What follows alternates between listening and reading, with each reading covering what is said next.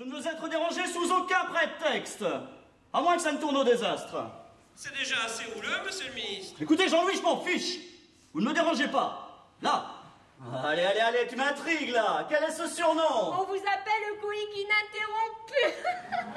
Oh merde, il a plus de poux Il est mort Mais c'est ce que plus de poux signifie en général, oui Et comment allez-vous expliquer ce que vous, une des plus proches collaboratrices du leader de l'opposition, et moi, l'un des ministres les plus en point du gouvernement, fabriquons dans cette suite nuptiale de l'hôtel Plaza.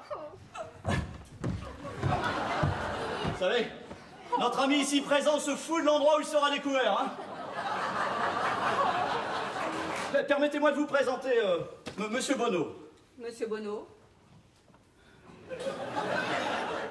Comment il a fait pour passer de la fenêtre à la penderie?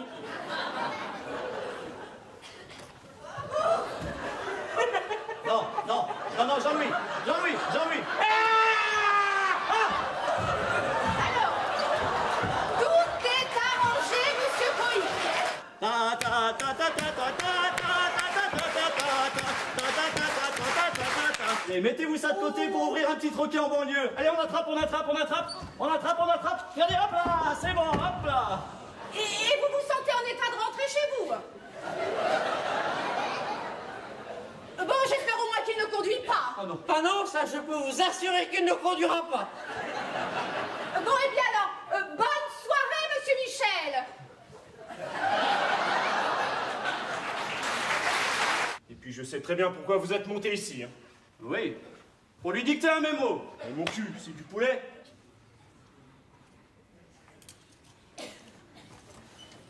Il s'est levé. Levé? Mais qui s'est levé? Mais le type sur le fauteuil roulant. Mais putain, mais de qui parlez-vous? Mais le type dans le fauteuil roulant.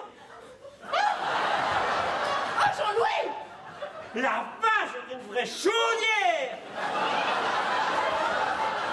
Ne lutte pas, Madame Coï. oh, oh, mais qui parle de... Qui parle de lutter, Jean-Louis Je suppose que cette femme, c'est votre jeune épouse? Ah non, c'est la vieille de Monsieur Coï. Ah, puis, si monsieur Franck ne disparaît pas!